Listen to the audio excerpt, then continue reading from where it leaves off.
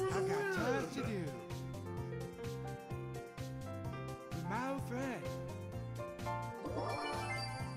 I'm here in HQ. With the gentleman.